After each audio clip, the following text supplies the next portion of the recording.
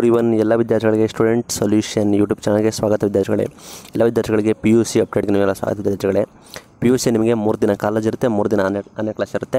ಮಾರ್ಗ, ಮಾರ್ಗಸೂಚಿಯಲ್ಲಿ ಏನೇನಿದೆ, ಅದ್ರ ಬಗ್ಗೆ ಕಂಪ್ಲೀಟ್ ಮಾಹಿತಿಯನ್ನು ವಿಡಿಯೋದಲ್ಲಿ ತಿಳಿಸ್ಕೊಡ್ತೇನೆ. ಯಾರು ನಮ್ಮ ಚಾನಲ್ ಸಬ್ಸ್ಕ್ರೈಬ್ ಸಬ್ಸ್ಕ್ರೈಬ್ ಆಗಿ ಮೇಲೆ ಕಣ ಬೆಲ್ ಬಟನ್ನ ಕ್ಲಿಕ್ ಮಾಡಿ. ವಿದ್ಯಾರ್ಥಿಗಳೇ, ನಿಮಗೆ ಈಗಾಗಲೇ ನಿಗದಿ ನಿಗದಿ ಆಗಿರೋ ಪ್ರಕಾರ, ಅಂದರೆ ಆಗಸ್ಟ್ ಮೂರನೇ, ಆಗಸ್ಟ್ ಇಪ್ಪತ್ತ್ಮೂರರಿಂದ ನಮಗೆ ಸೊ, ಅಂದರೆ ಇಪ್ಪತ್ತ್ಮೂರು ಆಗಸ್ಟ್ ಇಪ್ಪತ್ತ್ಮೂರು ಸೋಮವಾರದಿಂದ ನಮಗೆ ಒಂಬತ್ತು, ಹತ್ತು, ಹನ್ನೊ, ಹನ್ನೊಂದು, ಹನ್ನೆರಡನೇ ತರಗತಿ ಪ್ರಾರಂಭ ಆಗುತ್ತೆ ಅದರ ಬಗ್ಗೆ ಶಿಕ್ಷಣ ಇಲಾಖೆ ಕೂಡ ಮಾರ್ಗಸೂಚಿ ಪ್ರಕಟ ಮಾಡಿದೆ. ಅದೇ ಥರ ನಿಮಗೆ ಪ್ರಾರಂಭ ಮಾಡ್ತಾರೆ.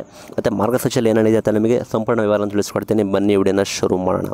ಅಂದರೆ ಶೇಕಡ ಎರಡಕ್ಕಿಂತ ಕಡಿಮೆ ಪಾಸಿಟಿವ್ ದರ ಎಲ್ಲೆಲ್ಲಿದೆ? ಜಿಲ್ಲೆಗಳಲ್ಲಿ. ಆ ಜಿಲ್ಲೆಯಲ್ಲಿ ನೀವು ಇಪ್ಪತ್ತ್ಮೂರರಿಂದ ನಿಮಗೆ ಒಂಬತ್ತು, ಹತ್ತು, ಹನ್ನೊಂದು, ಹನ್ನೆರಡು ತರಗತಿನ ಪ್ರಾರಂಭ ಮಾಡೋಕ್ಕೆ ಪರ್ಮಿಷನ್ ಕೊಟ್ಟಿದೆ.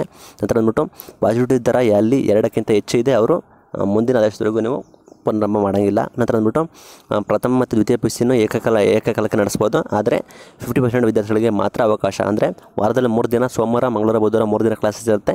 ಇನ್ನು ಮೂರು ದಿನ ನಿಮಗೆ ಆನ್ಲೈನ್ ಕ್ಲಾಸಸ್ ಇರುತ್ತೆ. ಎಲ್ಲಿ ವಿದ್ಯಾರ್ಥಿಗಳು ಕಡಿಮೆ ಕಡಿಮೆ ಇದ್ದಾರೆ, ಅಲ್ಲಿ ಇದು ಅನುಗುಣವಾಗಲ್ಲ. ಎಲ್ಲಿ ವಿದ್ಯಾರ್ಥಿಗಳು ಜಾಸ್ತಿ ಇದ್ದಾರೆ, ನೂರಕ್ಕಿಂತ ಹೆಚ್ಚು ವಿದ್ಯಾರ್ಥಿಗಳು ಎಲ್ಲಿದ್ದಾರೆ, ಅಲ್ಲಿ ಮಾತ್ರ ನೀವು ವಾರದಲ್ಲಿ ಮೂರು ದಿನ ಆನ್ಲೈನ್ ಕ್ಲಾಸು ಮೂರು ದಿನ ಕ್ಲಾಸ್ ಮಾಡಬೇಕಾಗುತ್ತೆ. ಎಲ್ಲಿ ವಿದ್ಯಾರ್ಥಿಗಳು ನೂರಕ್ಕಿಂತ ಕಡಿಮೆ ಇದ್ದಾರೆ, ಅಲ್ಲೇ ಬೇಕಾದ್ರೆ ನೀವು ಹಾಲು, ನಿಮ್ಮ ಹಾಲು ಅಥವಾ ನಿಮ್ಮ ಓದ್ಕೊಳ್ಳೋ ಜಾಗ ವಿಶಾಲವಾಗಿದ್ದರೆ ನಿಮಗೆ ನಡೆಸ್ಬೋದು ಅಂತೇಳಿ ಪರ್ಮಿಷನ್ ಕೊಟ್ಟಿದ್ದಾರೆ.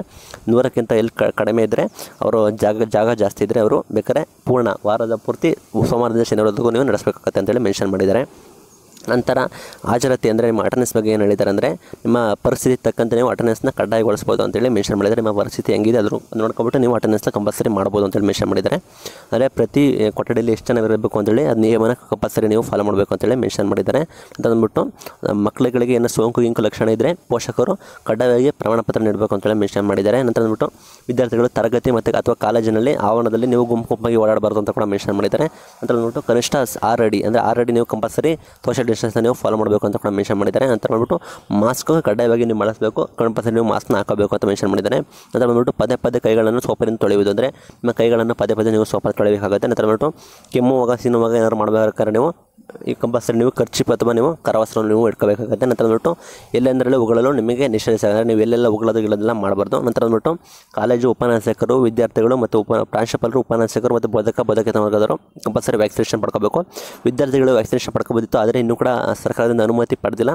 ಅನುಮತಿ ಬಂದ ನಂತರ ವಿದ್ಯಾರ್ಥಿಗಳಿಗೆ ವಿದ್ಯಾರ್ಥಿಗಳು ಕೊಡ್ತಾರೆ. ಅದು ಅದು ಇಲ್ಲಿವರೆಗೂ ನೀವು ಯಾರೆಲ್ಲ ಪೋಷಕರು ವ್ಯಾಕ್ಸಿನೇಷನ್ ತಂದಿರಬೇಕಾಗುತ್ತೆ ಅಂತ ಅಂದ್ಬಿಟ್ಟು ಉಪನ್ಯಾಸಕರು ಮತ್ತು ಬೋಧಕ ಬೋಧಕ ವರ್ಗ- ವರ್ಗದವರು ಮತ್ತು ಕಾಲೇಜು ಸಿಬ್ಬಂದಿಗಳು ಯಾರು ಇರ್ತಾರೆ ಅವರೆಲ್ಲ ಕಂಪಲ್ಸರಿ ನೀವು ವ್ಯಾಕ್ಸಿನೇಷನ್ ತಗೊಂಡು ಇರಬೇಕಾಗುತ್ತೆ. ಅದನ್ನು ಅವರು ನೋಡ್ಕೊತಾರೆ ಅವರು ತಮ್ಮ ಇಲಾಖೆಗೆ ಕೂಡ ಕೇಳ್ಕೊಂಡಿದ್ದಾರೆ. ಇದು, ಇದೆಲ್ಲ ಇದನ್ನ ರೂಲ್ಸ್ ಇರುತ್ತೆ.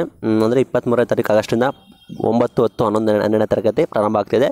ಈ ಶೇಕಡ ಎರಡಕ್ಕಿಂತ ಹೆಚ್ಚು ಪಾಸಿಟಿವ್ ದರ ಎಲ್ಲಿದೆ? ಅಲ್ಲಿ ಶುರುವಾಗಲ್ಲ. ಎರಡಕ್ಕಿಂತ ಕಡಿಮೆ ಪಾಸಿಟಿವ್ ದರ ಎಲ್ಲಿರುತ್ತೆ? ಆ ಜಿಲ್ಲೆಯಲ್ಲಿ ಪ್ರಾರಂಭ ಮಾಡೋಕ್ಕೆ ಪರ್ಮಿಷನ್ ಕೊಟ್ಟಿದೆ. ಒಂದು ಐದು ಜಿಲ್ಲೆ ಬಿಟ್ಟು, ರಾಜ್ಯದ ಐದು ಜಿಲ್ಲೆ ಬಿಟ್ಬಿಟ್ಟು ಎಲ್ಲ ಪರ್ಮಿಷನ್ ಕೊಟ್ಟಿದೆ. ಇದು ಇವತ್ತಿನ ಅಪ್ಡೇಟ್ ಇದೇ ಥರ ಹೆಚ್ಚು ಅಪ್ಡೇಟ್ ನಮ್ಮ ಚಾನಲ್ ಸಬ್ಸ್ಕ್ರೈಬ್ ಸಪೋರ್ಟ್ ಮಾಡಿ. ಥ್ಯಾಂಕ್ ಯು ಫಾರ್ ವಾಚಿಂಗ್ ವಿದ್ಯಾರ್ಥಿಗಳೇ.